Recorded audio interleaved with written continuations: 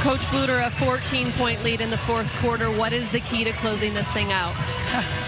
Well, the key is to work for good shots. I mean, I thought we were much better running our offense in the third quarter than we did the first half.